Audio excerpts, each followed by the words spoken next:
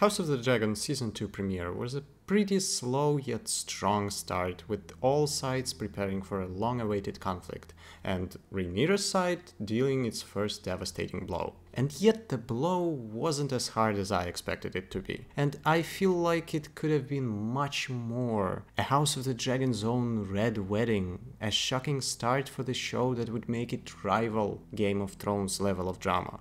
So let's explore on it.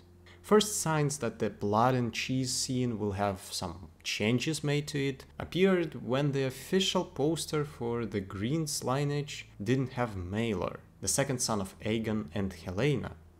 As the showrunner Ryan Condal explained, this change was made due to condensing 30 years in the book into 20 years in the show. But for all it's worth, I don't really feel like it's a good explanation. The show has made Alicent Hightower significantly younger to be Rhaenyra's childhood companion, and yet Alicent's children are all present within the show's timeline. We didn't see Daeron yet, but he clearly is in the show canon as he appears on the official house tree, as well as his emblem is shown in season 1 intro. Helaena and Aegon having one more son is essential for the Blood and Cheese scene adaptation, as without it, the scene loses most of its horror. Let's look at the original scene from Fire and Blood. First of all, Blood and Cheese infiltrate the Red Keep, get into Alicent's quarters, and strangle her handmaiden. They make Alicent wait for when Helaena brings her children for their evening time together and show the horror of Dowager Queen waiting for the inevitable, unable to stop what is about to happen. So when Helaena finally enters Alicent's chambers, Blood and Cheese kill her guards and force Helaena to make an impossible choice, which one of her sons is going to die. Helaena named her youngest Maelor. Perhaps she thought the boy was too young to understand, or perhaps it was because the older boy, Jaehaerys, was King Aegon's firstborn son and heir, next in line to the Iron Throne. You hear that, little boy, Cheese whispered to Maelor. Your mama wants you dead. Then he gave Blood a grin, and the hulking swordsman slew Prince Jaehaerys, striking off the boy's head with a single blow.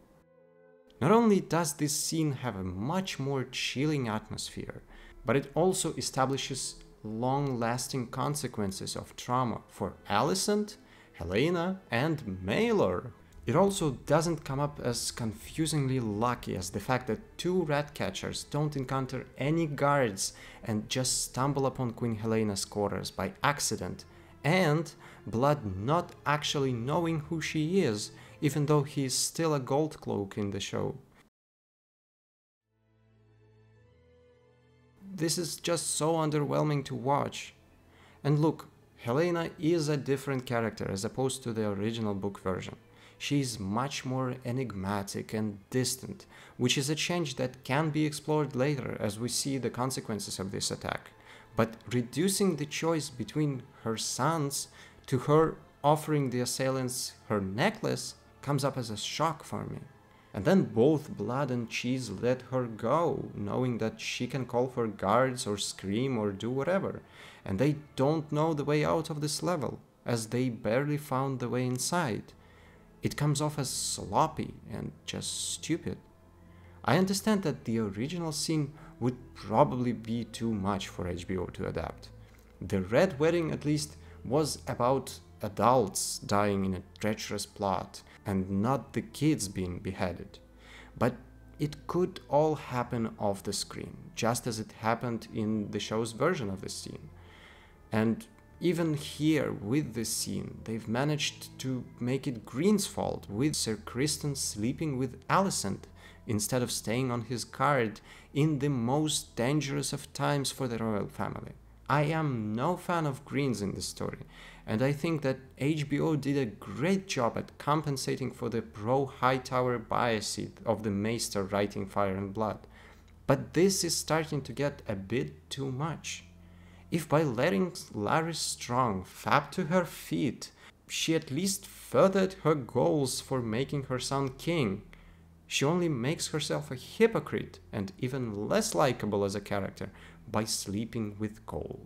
This change is going to affect Aegon's own succession as well, as now he doesn't have a son, and will have to either make his daughter his heir, effectively doing the same as Viserys, or have Aemond first in line to inherit the throne, which will not be a great idea as this guy wants the throne a bit too much. House of the Dragon wants to set up Aegon's side to reflect Viserys' own succession crisis, with only a female child and a chaotic power-hungry brother as his options.